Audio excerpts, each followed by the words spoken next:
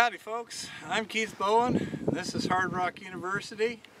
We finally got the Minerbago pretty much built. We still have a bunch of mechanical issues but those are just routine stuff that any mechanic can take care of. So if you come over here, first we have the front bumper. This will take either a hitch or a winch depending. I'm going to have it mounted on a, on a receiver lights here are both for floodlights when you're off-roading, daytime running lights, and to see the lines on the road in poor visibility.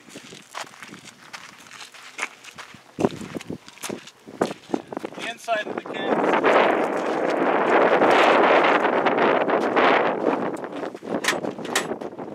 Here's where we have most of our tools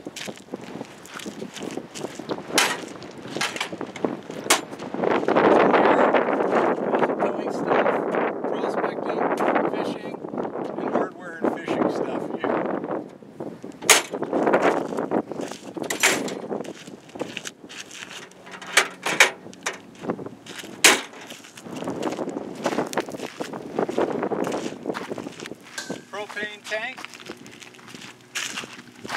We have a hole, we can either put a propane hose inside if we're going to do some cooking or whatever, or we can run an electrical cord in if we're someplace where we got power, we're running off a generator.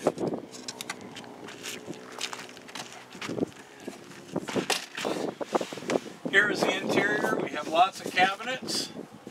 Have a little closet here. They have shelves in them. Have an electric heater down here. If we have power, we can use that. We can put our, our little stove up here to cook if we need to. Here's a little 12 volt. It's not an ice chest, but it's like a little refrigerator. Keeps it 40 degrees cooler than ambient. Here's a little snacks here.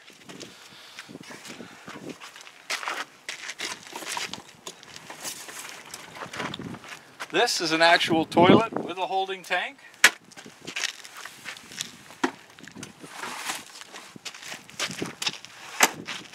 Underneath here are fishing rods and tools. And underneath here is some more stuff that I'll talk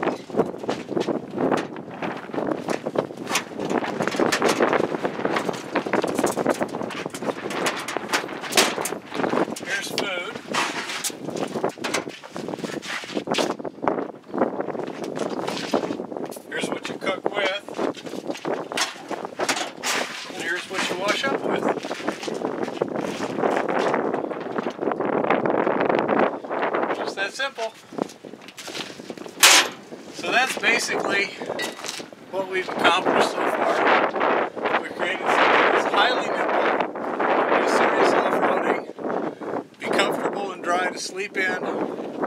You can cook inside it if you need to. If the weather's nice, you cook out here. And this barbecue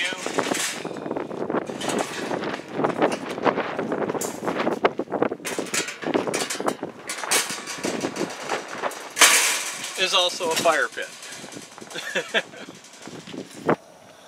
and here we are the next morning.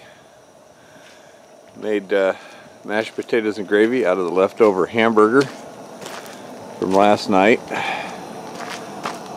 think I'd use a little more lighting in there. And we have a nice warm table since it's not too breezy today. And I thought you just put the stove right under the table and it makes you nice and warm.